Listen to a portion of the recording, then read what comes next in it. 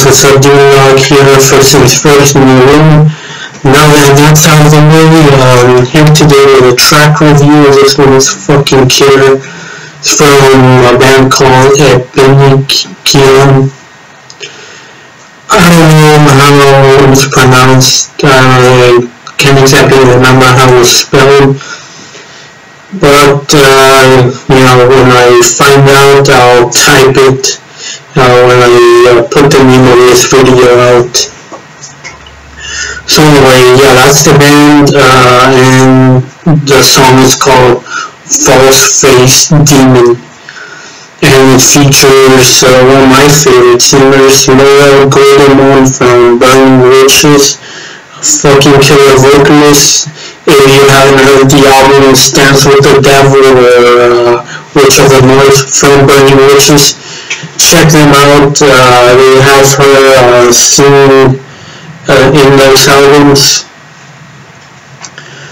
She's an amazing vocalist and uh, Burning Witches. Recommend them.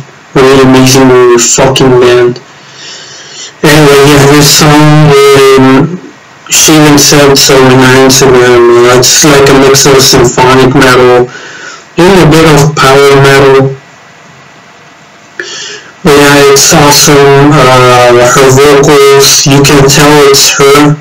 Uh, you know, recognizing the voice and whatnot, but um, it's way different than the style of uh, Burning Witches. So, uh, you know, Alessia Silver, she's uh, in another band or whatever Burning Witches took another direction or something like that, decided to go more symphonic, but no.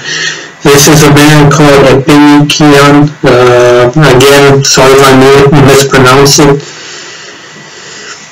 Mm, yeah, uh, this band is like Apocalyptica, where um, the actual band, uh, they're just a bunch of guys playing instruments, and they always uh, my guess is that they always feature a new vocalist because uh, in this song when I saw down in the description of the video it said guest vocals Laura Guldemond so I'm guessing that for every song they uh, switch uh, vocalists they always have a different one. Sing that's how I see it.